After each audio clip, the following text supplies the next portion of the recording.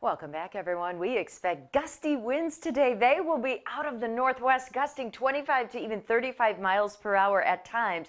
That keeps pulling in some dry air. So our shower chances on Saturday, yes, they're there, but they're not super huge. We're not expecting storms. It's more of a passing shower variety with a front that's coming through, but it doesn't last all weekend. Sunshine coming back to your Sunday. Right now it's mild, 60. We don't have big winds yet. Once the sun rises, then we'll see those winds in increase around town today, and they will get pretty gusty, but it'll be a sunny, bright day for us all over again. So another dry day, and as this dry air mass kind of settles overhead, that's really going to give the next system a lot of uh, slowdown as far as the forward speed goes, because that next system is going to be running into this dry air. So 77 is our forecast high. Tonight will be partly cloudy, 58 for our overnight low temperature. So gusty winds will peak, I think, right after lunch straight out of the northwest, as you can see here on our models, keeping winds up until the sun goes down.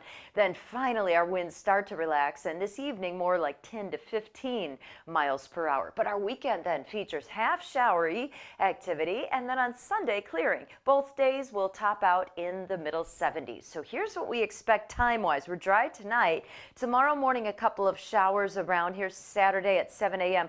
Better coverage here where that upper level low is actually going to pass over Wisconsin, but we could have a shower in the morning. Then later in the day, the actual cold front will be passing the area, so I'm thinking we'll have a couple of showers there close to dinner time, and then the whole thing just moves out. Rain amounts, not impressive at all. Models are barely picking out maybe a quarter inch closer to the Wisconsin state line.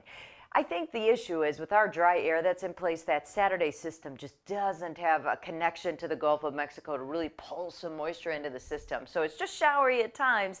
And then we clear out for Sunday. That's looking pretty nice. And as we lead through the middle of next week and even next weekend, Ryan, there are hints next weekend we could be flirting with 90 degrees. So mm. this weekend is very seasonable, middle 70s for you. We will take it. Mary Kay, thank you.